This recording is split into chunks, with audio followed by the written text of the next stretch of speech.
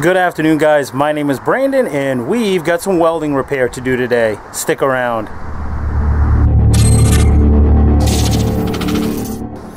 So today's welding repair project is going to answer a lot of questions that you guys have been having lately. Uh, you guys have mentioned that you want to see some stick welding on thin material.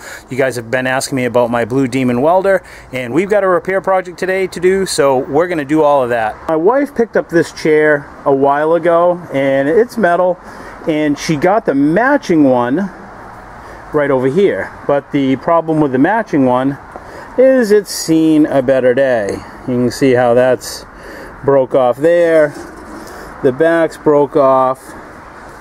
It's broke off up under here. You can see. The leg is broken off. So we're going to see if we can fix that because this is a matching piece to that right there. So this is going to be added to the beginner welding series and maybe you're asking yourself, well how do you, which process do you pick? How do you know which one to use? Well, so you see this one has a lot of paint on it, right? There's paint all over it. Um, so TIG welding requires it to be really, really clean. So TIG welding is kind of out. If I if I wanted to spend the time to clean it really good, then that could be part of it. But um, it's kind of got this white and black see-through surface. It looks old uh, and weathered and beat up, and that's the look that we want. So TIG welding really doesn't have to be the process for this. Because of all the paint, MIG welding isn't a great option here. It's better than TIG, but it's not really great. Stick welding is good when you can't get the surface perfect. You can't get it, you know, all cleaned up 100% the way you want it. It's Stick welding is a little more forgiving than MIG welding.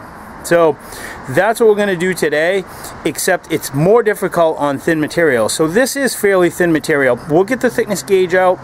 We'll get the welder set up and we'll go over all of this. This is going to be a fairly detailed uh, repair on welder settings and uh, like I say, it's going to be part of the beginner welding series. So let's get the welder unboxed right now and get rolling on it.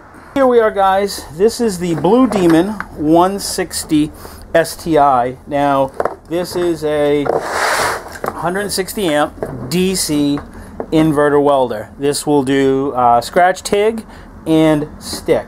So this is going to be a good welder for this. And you guys have been asking about, you know, what can this thing do on 115 amps, uh, 115 volts, like just a regular receptacle that you'd have out in your workshop or, you know, could be working out in your driveway. That's what we're going to simulate here today. So that's exactly what we're going to do. We're going to run this on 120 volts. We're going to plug it in, just like a lot of you guys may do, and we're going to make a repair. Now, if you guys want to see the full review and unboxing of this welder, I'll put a link up here somewhere, uh, and you guys can check that out. But for right now, we're just going to cover the basic functions of stick welding on a regular 120 volt receptacle today. So the adapter converts this welder from 220 down to just your regular standard wall plug. We're going to be welding DC electrode positive. So we'll attach our earth, depending on where you come from, or ground, that'll be on negative. And we'll attach our work lead, or our stinger, to the positive side. So you guys may sometimes run into an issue where you're working out in your driveway or your garage or wherever you are. You're at a buddy's house and you got a little project to do and you, you can't quite reach um, the plug-in from your welder. So you're going to have to run a cord. Well, if you do that, just remember, running an extension cord is going to reduce the number of amps that your welder is going to get. So knowing that you're going to want to run the heaviest or biggest extension cord you can get not a little flimsy cheap one. It's got to be something that's substantial uh, preferably number 12 wire or larger. Let me show you what I mean. This is number 12 wire and look at the size of that compared to like a typical little uh, flimsy extension cord. That's 16 gauge wire the green one. This one here is 12 gauge and it's got a real heavy insulation on it. And you don't want a real long run. I think this cord right here is probably 20 feet tops. Alright, so the next thing we're going to do is I'm going to take a wire brush and I'm going to try to clean everything up. So you can see we got a break there. Now this material here is solid. the uh, rods that we got to weld to. That's solid. And then we'll clean this up. Got a, another broken weld. Looks like here and here. And another one under here. And we can't get to all of them. That's the problem. We So a 6011 rod is going to be perfect for this because it's real forgiving on uh, paint prep and cleanup. A lot more forgiving than other rods. So I'm going to start wire brushing this down. Nothing too fancy. And I'll bring you back when I'm done. So now I'm just going over all the repaired areas with a wire brush. The better job we do here, the better job we get in the end. Alright, so the first thing I think we're going to do is we'll weld this piece back onto here. But before we do that, we got to know how to set the welder up and we got to know what our material thickness is. So if you don't have one of these, these are super handy to have. I'll leave a link down in the description for it, but it tells you what uh, the material is you're working with. So that's, you know, and that works good for stick welding, MIG welding, TIG, all of it. If you don't have one of these, pick it up. They're cheap. They're only a few bucks, and it's going to make your life uh, a lot easier. So we go down to here, and there's a lot of paint on this, but that's telling me that this is eighth inch material right there. Then we'll do the same thing here. This is all snapped off from that. So we'll throw our gauge in there. And again, we're at eighth inch. It, it's showing probably 10 gauge, but I don't believe it. I think it's just because there's so much paint on it.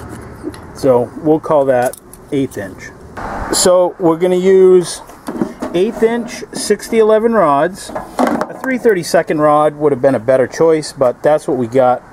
So what you want to do now is go to millerwelds.com. We're looking for our amperage. We'll click on stick welding. And selected material. What are we welding? We're going to weld some mild steel. And we got to select electrode. And we're going to use 6011 eighth inch. Let's pick that. And that tells us suggested amperage range 75 to 125. Uh, DC electrode positive, which is uh, what we're set up now. It has the deepest weld penetration. And uh, yeah, gives you all the stuff that you need to know. Minimum prep, rough bead, high spatter. But that's okay because remember I said that this can be a, uh, it's going to be rustic. It's going to be rough looking. That's all right. And it's an all position rod. So there we go. So we're going to start out. We're going to set it for 75. All right, so we got our welder plugged in to a 120 volt receptacle. We're not on 220, so this is what you guys are going to be doing a lot. We're going to switch over to our stick welding mode. Go to the back, snap on our switch.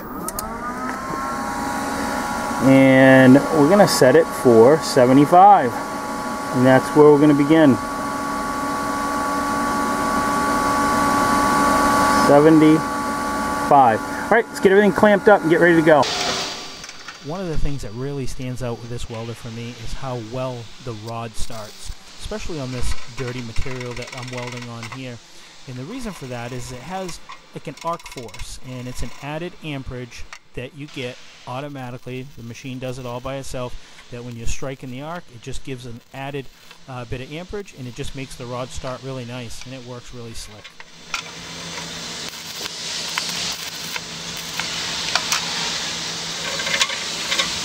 Now we just have to do that on all the broken places around the chair.